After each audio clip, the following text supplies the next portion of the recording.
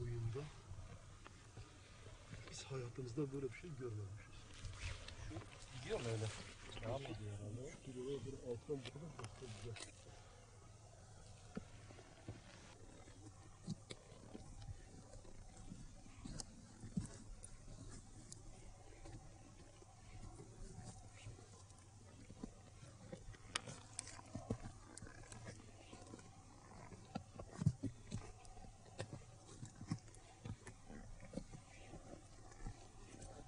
Kardeşimin üç tane çocuğu biz binadan çıkarttıktan hemen sonra binamız yıkılıyor.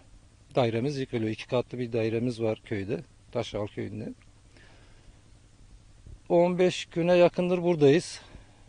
Ee, burayı da biz 3 gün önce merak ettik, geldik, bir baktık. Bu yarıkları e, daha önce bizim buraya çocukluğumuzdan beri av için, piknik için e, balığa gelirdik. Bu bölgeye sık sık gelirdiniz. Gelir, küçüklüğümüzde gelirdik. Son 5-6 senedir gelmemiştik. Merak ettik. Geldik. Bu manzarayla karşılaştık. Gerçekten yani sanki fay hattının geçtiği bir yer.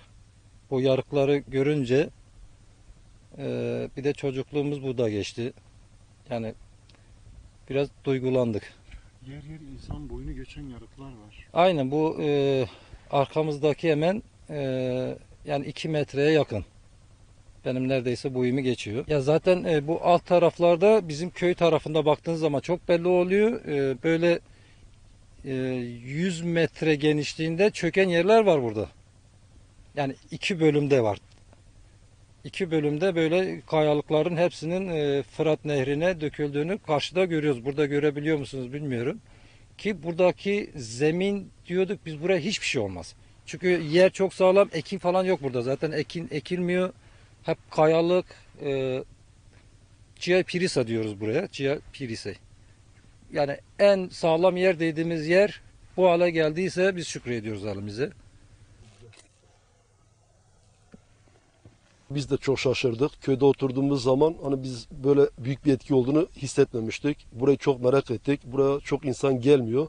Aklımıza geldi. Gelip kontrol ettiğimizde biz de bayağı şaşırdık.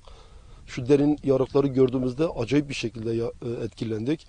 Şimdi burası da bizim Adıyaman'a sıfır nokta sınır. Aramızda Fırat Nehri geçiyor. Muhtemelen işte Maraş, Adıyaman'daki depremler burada etkilenmiş gibi hissediyoruz. Ben de ta ucuna kadar gittim. Buranın e, insanı olduğum için biraz daha hani korkumuzu da aşmışız. E, tam uç noktalara kadar gittim. Çok büyük felaket. Dağ büyük parçalar kopmuş. Nehre yıkılmış.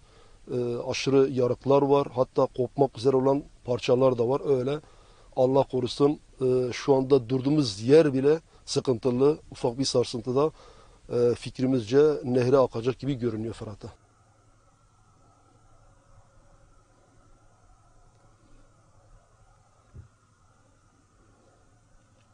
ana hatlarıyla Hatay, e, Maraş, Adıyaman ekseninde meydana gelen deprem 10 ilimizi ciddi anlamda etkilemiştir. Bu ana depreme bağlı olarak sonrasında da devam eden artçılarla birlikte bölgenin bu ana eksen dışında bölgenin diğer illerinde, diğer ilçelerinde etkilemiştir. Bu etkilenen alanlardan bir tanesi de Şanlıurfa ilinin Sevrek ilçesi yani Fırat Havzası'nda bulunan Takoran Vadisi'dir. Ve Takoran Vadisi'nde Hilvan'ın bazı yerlerinde, Atatürk Barajı'nın güneyindeki bazı yerlerde bazı kırıklar meydana gelmiştir. Bu kırıkların en barizi de Takoran Vadisi'nde meydana gelen bir kırıktır. Ee, bu kırığa bağlı olarak endişelenecek bir durum yok. Yani büyük oranda meydana gelen depremin tesirinde, etkisinden oluşmuştur.